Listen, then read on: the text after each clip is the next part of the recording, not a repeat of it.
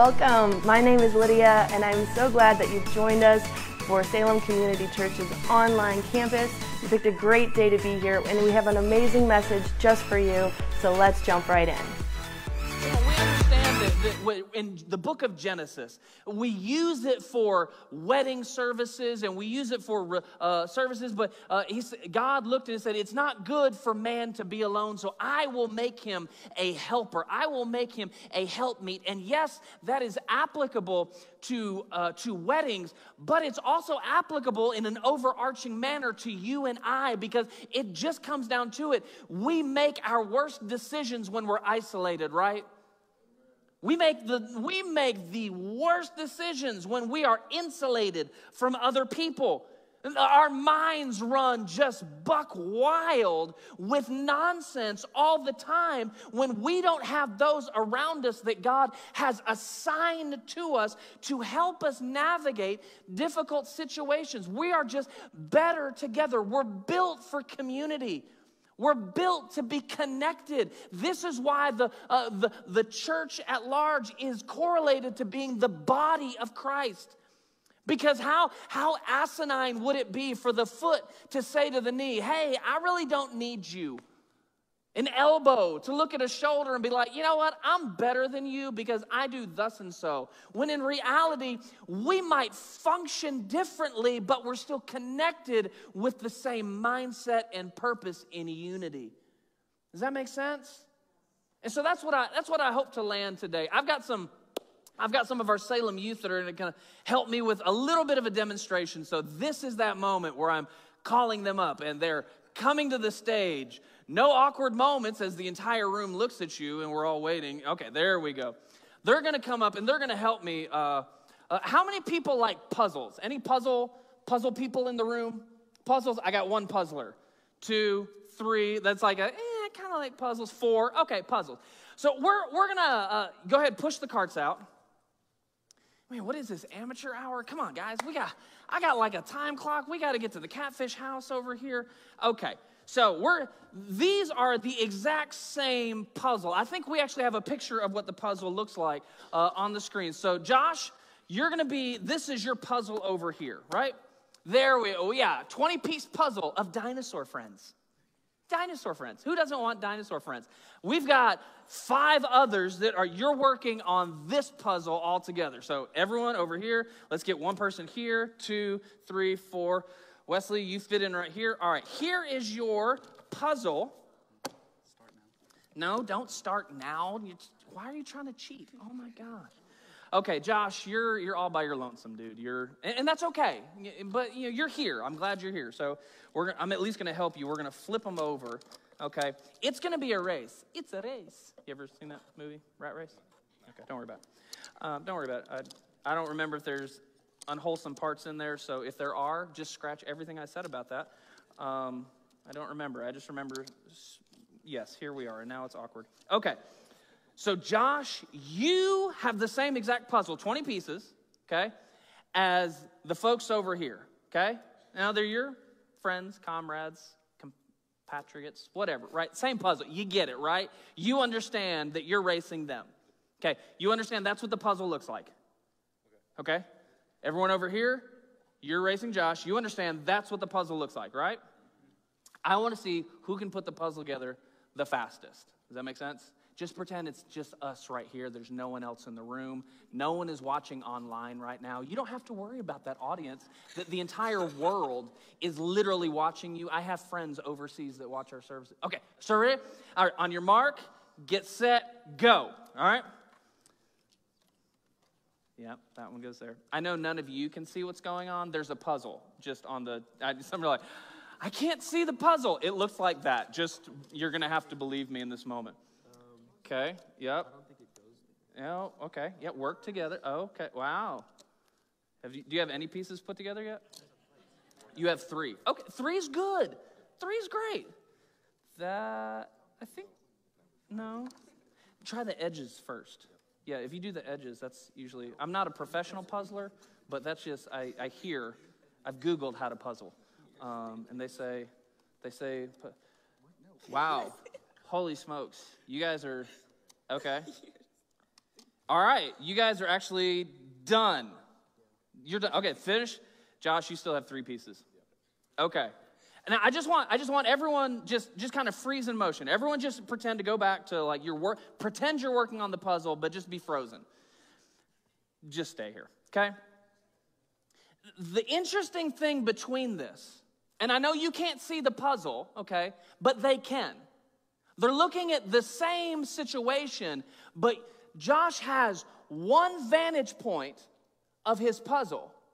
Now, so does Lila, but Lila is looking at the same situation, but from a different angle than Wesley is.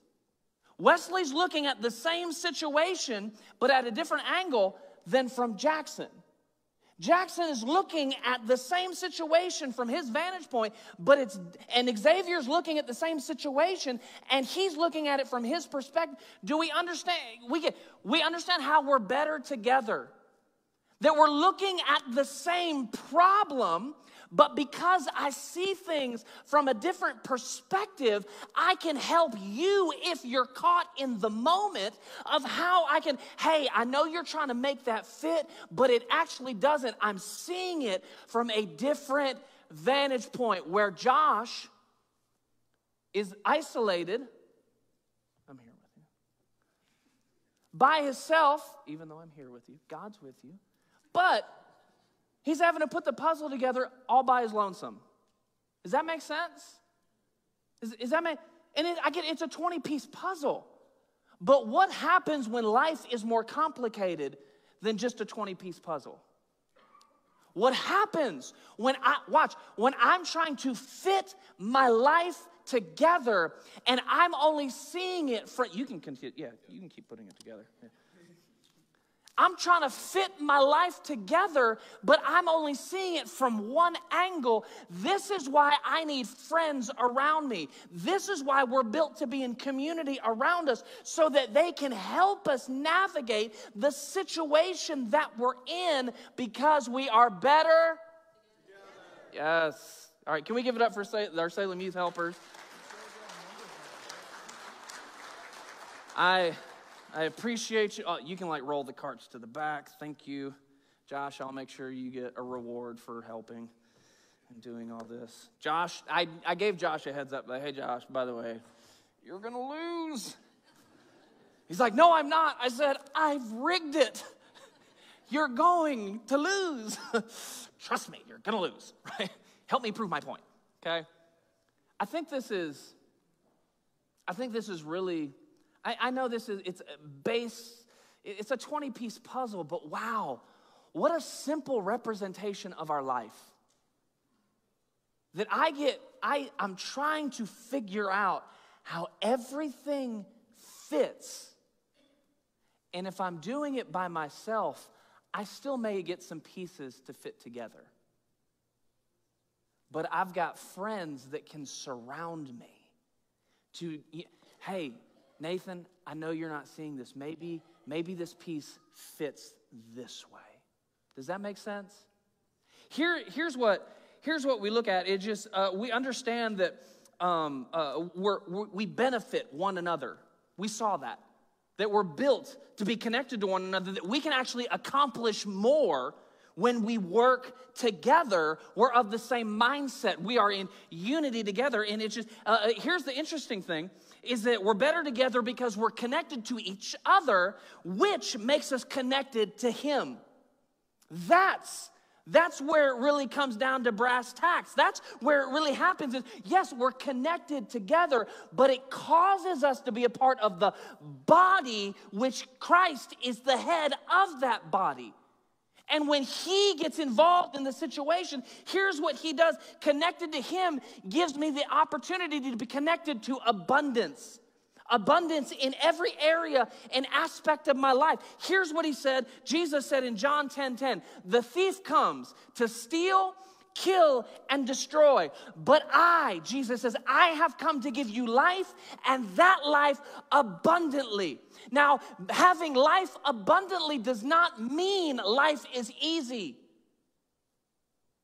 There's still a puzzle that has to be put together. There's still questions. How does this fit? but we have access to abundance in Him abundance of peace, abundance of hope, abundance of joy, abundance of provision, abundance of, of whatever He has. I have access to it, and I have access to it abundantly. Whatever it is that you need, He's got it. And whatever He's got, He wants to give it to you. That is what He does. So here, here's, here's what He says. Let, let me show it to you in action. Let me, let me show you characteristics that, when they're linked together, offer access to abundance, okay? I want to pull it out of the angle of what we see the, with the, early, the first church, the early church in the book of Acts. I want to go to Acts chapter 1. Write it on your neighbor's arm. If you brought your Bible, turn to Acts 1. I'm going to tell you to highlight some things. You're allowed to highlight and write things in your Bible. If your Bible is too holy to write in, Get another Bible, right? It should look like gangbangers tagged it. That's what your Bible, a good broken Bible means that your life is probably not broken. Um, right? If you have it on your phone, hey, shout out, we're getting Wi Fi. I think it's actually getting finished this coming week because they dropped in the line. So all of your electronic Bibles will now be able to work here uh, throughout the entire building. Uh, not just in like specific corners where if you hold your phone at the right angle and try to get it, like, yeah, okay? Uh, Acts 1, and I think we have it, Bibles in the sky, verse 1 through 4. Uh, Jesus, this is on one occasion, while he, Jesus, was eating with them, he gave them this command Do not leave Jerusalem but wait for the gift my father promised, which you have heard me speak about. For John baptized with water, but in a few days you will be baptized with the Holy Spirit. If you're a King James fan, it says, and the Holy Ghost, okay? Wait, okay? Wait in Jerusalem for what I promised you. What did he tell them to do? He told them to, one word, to wait, okay? Now let's go to chapter 2, right? This is the one that we quote the most. Uh, chapter 2. And when the day of Pentecost was fully come, they were all with one accord in one place. And suddenly there came from heaven a sound as of a mighty rushing wind, and it filled the house they were sitting in which they were sitting. And there appeared unto them cloven tongues like as of fire, and it sat upon each of them. I think it's interesting if you pull this, these scriptures apart, there's cause and effect. There's cause and effect that give them the opportunity. We call it in this verse suddenly. But I think you can input in this moment that it is his life abundantly. I'm not changing the scripture. I'm just giving an understanding of this is a moment where God pours himself out in abundance. But it took things happening on their end to get to that moment.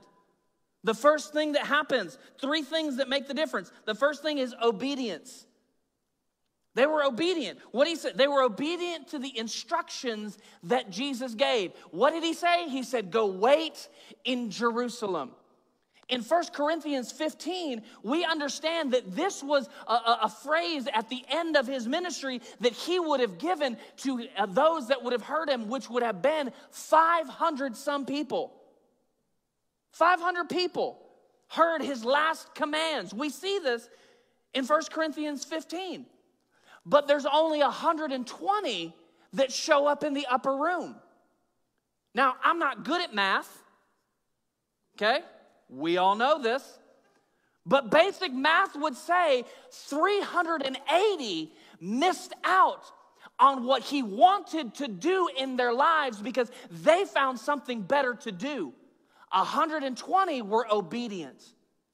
Now, here's the thing. We think that with God, there's these monumental moments where it's like, okay, I got to go climb Everest. I have to like jump and, and, and, and, and make the span from one side of the Grand Canyon to the other. Can I let you know where I fall down the most?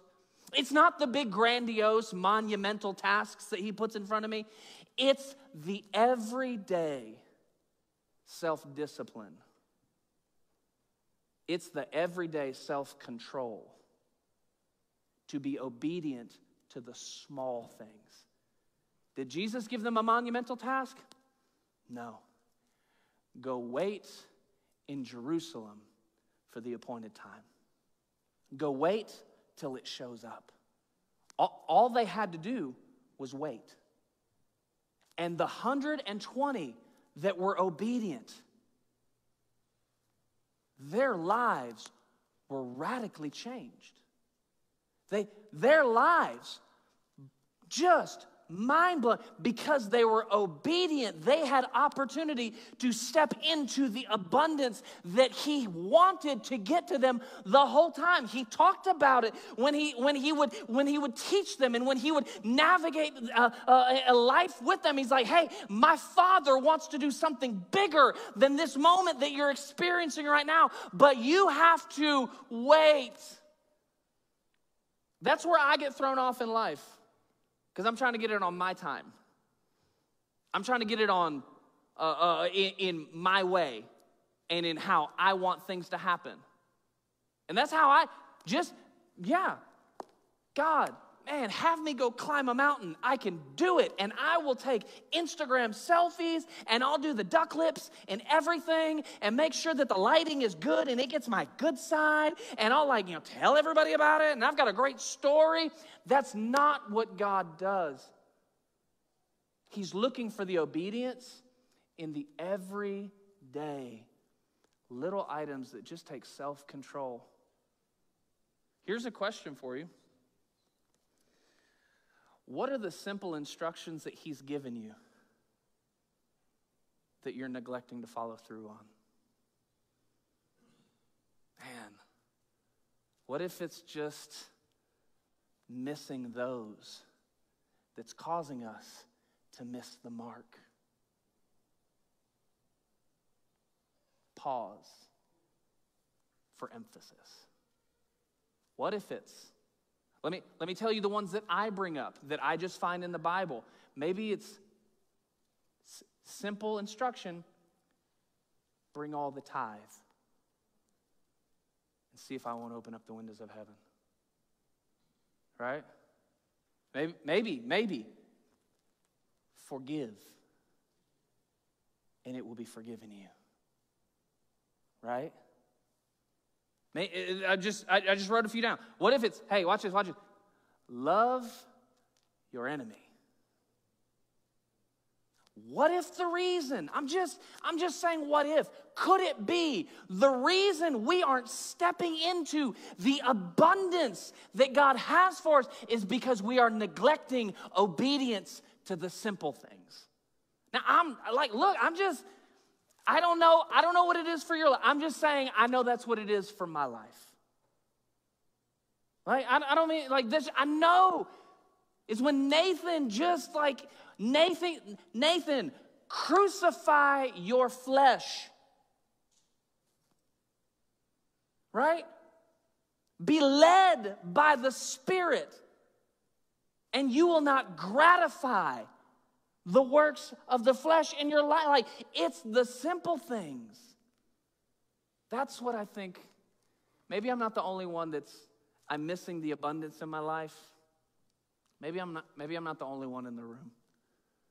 Maybe I'm not the only one that's worshiping in this moment that is just like, yeah, he has given me simple instructions. He told me to get plugged in. He told me to get involved. He told me to stop doing things.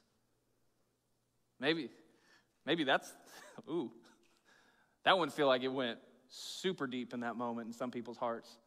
Maybe it's not the things that he's telling you to do, maybe it's the things he's telling you to not do. And that's why we're missing out on the abundance that he wants to pour out. Does that make sense, church? Does that make sense? Okay, so here, here, let's look at this.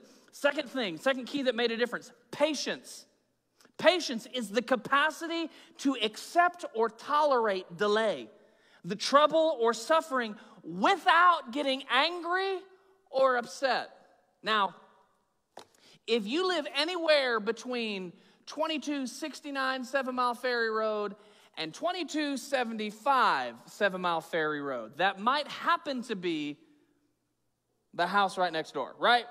You would think that somebody who lives over there owns a lot of stock in Amazon. Because there are packages nonstop coming to whoever it is that lives over there. Who I don't know who it is. I'm just saying the person that lives right next door. Wow, it's like they're on first name basis with the Amazon driver. Okay, it's not the wife. It's the husband. He's got a problem. I'm just letting you know. Like we're praying for him, right? His wife put him on an allowance. That's a true story. Uh, here's what I love. I'm talking about me, people. If you're like, I don't, I don't, what is he talking about? I'm talking about me. I love Amazon Prime. You know why I love Amazon Prime? It's not just because it's Christmas, like every day, literally every day that boxes show up. It's like, oh my gosh, you ever like order something and you forgot that you ordered it? And then when it shows up, you're like, oh my gosh, this is great. right? Certainly I'm not the only one, okay? It's just, yeah, those are like, oh, I love those moments. I really do. It like just brings joy to my heart. Here's what I love though I love that I can track the package. It is worth, eh, like, I know, I know it's gonna show up. I ordered it on Friday. I know it's gonna show up on Tuesday, but I am still checking it three times a day on Saturday. Come on, am I the only person? Like, I, like we know, yeah, you, who are the Amazon Prime package trackers. Yes, yes, we are a group solidified together. We need we are in community together. I love it. I know it's not coming till Tuesday. But I sure am looking every single day, just getting more and more excited like what if the Amazon truck driver loves me? And he's going to forego all his other routes to make sure I get Whatever it is that I ordered, that more than likely I'm a conspicuous consumer and I don't need, I get it. But it just looks, I felt better. It was, you know, just, I felt better because I bought a flannel. Whatever, you know. It's like, but it looks so good on there. How interesting is it that we love the fact that we can track the package? We can see when it's going to get there. But that's not life. That's so not life. That's, that's so. Uh, uh, uh, what happens when there's no tracking number and the frustration that comes into mind of like, when's it going to get here? We obsess and we obsess. In this moment, Jesus gave, go wait in, in, in Jerusalem until the promise shows up. There's no tracking. Thanks, Jesus. Appreciate it. You're like tweaking and like triggering my OCD tendencies in this moment. Like, if, how long am I going to have to wait? what time do I need to be there by? Because I've got some things that I could be doing, right? He says, go wait until the appointed time. Go wait. Well, how long is it going to take? You don't need to worry about that. You know why? Because we walk by faith and not by sight. We walk by, hey, God, I'm going to pick my foot up and I don't know where it's going to land, but I know that you said you would lead me and guide me in all truth. You said that the footsteps of the righteous are ordered of the Lord. So I'm going to pick my foot up and I'm going to trust that you're going to set it down where you need me. I don't walk by what I can see, I don't navigate my life by what I can hear. I live my life by faith. And it sometimes, can we just be honest? That's scary it presses in on us because we want to know when the package is going to get there. We want to know, God, how are you going to work this out? How are you going to do this? When are you going to do this? It's going to be in a year? Okay, I can put up with this for a year, right? Let me know the light at the end of the tunnel. Go wait in Jerusalem. How long am I going to have to put up with anxiety and depression? I'm your healer. Just wait. How long will I have to suffer with this? I've got this. Just wait. They were obedient to do it, but then in the middle of it, they exhibited patience. They had to. If you contextualize this entire moment, we read the Bible in chapter and verse, and, and years go by on pages. Abram, I'm going to make you the father of many nations. Awesome. When? I'm going to do it.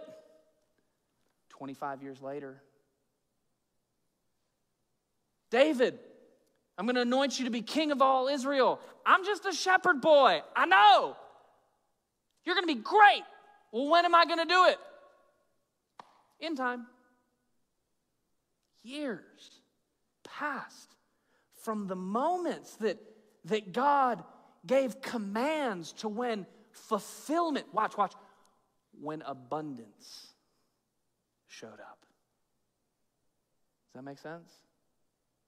If, if we don't exert if we don't exert things like patience, how I respond while waiting often shapes how I grow in the waiting. How I respond, my attitude, my demeanor, my willingness to believe, God, you said it, so that's what's going to happen. You, you said you're going to move, so you're going to move. And I'm just, how I, res- my attitude in responding, they were patient. Right? Does that make sense to everyone? You smelling what I'm cooking? Okay. Here's the third thing. Uh, uh, uh, um, the, they were they were obeyed, they were patient, but guess what? They were in unity together. Now I want you to think about this: 120 people. Okay. 120 people with various and sordid backgrounds, right? If I look at the followers of Jesus, people that had devils that they were delivered from, women caught in adultery, okay? Uh, people ingrained in other religions, right? Gentiles, Jews, like, I mean, just like every varying background, different ethnicities, different flavors, different styles boot cut, skinny jeans, right? It's just like, it doesn't matter. Like, yeah, I'm just, you know, I'm steak and eggs, or I'm like, I'm salmon and asparagus, right? There's just different, varying degrees of, of the people that followed Jesus, but they were in unity together. Unity doesn't mean that you all like the same thing. Unity means that I'm putting my preference aside.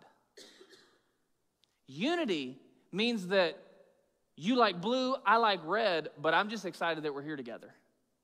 It doesn't mean that we agree on every single thing. It means that we look and we see the puzzle that needs to be built from our vantage point. So we work on it from our angle and our vantage point for the common cause of the greater good. Because when I said yes to Jesus, I immediately said no to Nathan. When I said yes to Jesus, I understood that it's his will and not mine. When I said yes to Jesus, I immediately acquired acquired a taste for less of me and more of you. It's not about what I want to do, it's not about where I want to go. God, what is it that you have for me in this moment? That's what I want. Who are you connecting me to? Who are you aligning me with and leaning me up against so that we can be light in the darkness of the world around us, so that we can be a city set upon a hill, so that we can impact the 52% on the other side of our stained glass windows to make a difference in their lives because it's not about me. Here's what Jesus said He said, I pray that they will all be one just as you and I are one. As you are in me, Father, and I am in you, and may they be in us, that the world will believe you sent me. There's just this understanding that we have to be in unity, even if we're in moments of life that we don't like. In moments of life where we just have differences, in moments of life that are confusing, in moments of life that are uncomfortable, that we're in unity together. Again, it's, it's not that we like the same thing, it's that we're focused on the same goal. Like a puzzle of dinosaur friends. Does that make sense? Here, here's what it, uh, these ingredients uh, aren't enough. Just uh, uh the, these are, aren't just ingredients and characteristics; they are cause and effect. Watch this. Lydia's going to come up here and she's going to make this sound so much more spiritual because she's going to play the guitar underneath me. She's just going to come up and she's about, like, you going to play in the key of C? Sure, she's going to play in the key of C. It's going to get so much more spiritual as soon as she starts to play. These aren't just random things that we should, they're, they're cause and effect to get to what the Bible said in the book of Acts. And suddenly, a sound as of a mighty rushing wind filled the house. It was because of their obedience, because of their patience, because of their unity together that suddenly could show up in their life.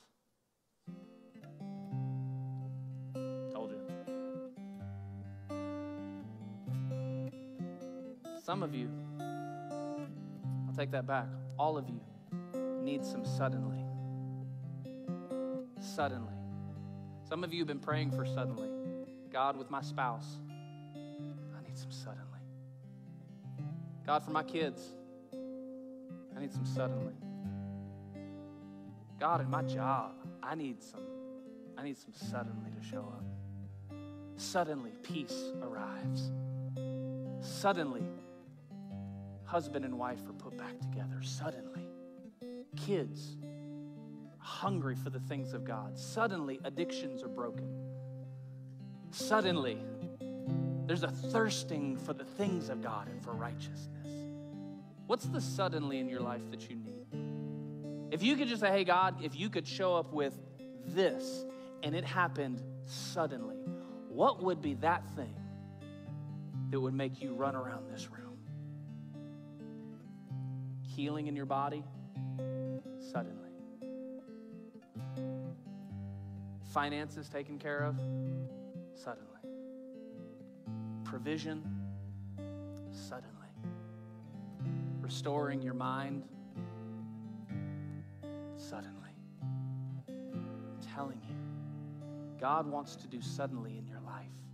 I mean that. I mean that. But I think sometimes we are so isolated looking at our problem that we never get the opportunity to even think about obedience and patience and unity until we're in a moment like this, where we have others that we're leaning on, community that we're connected to so that God can suddenly show up. Wow, what an incredible message. I am so glad you've joined us. If you would like to worship with your giving, you can do that by texting the amount that you'd like to give to the number 84321, or you can give safely and securely on our website, salemcommunity.church. At Salem Community Church, we are here to create community centered on Christ. We'll see you again next week.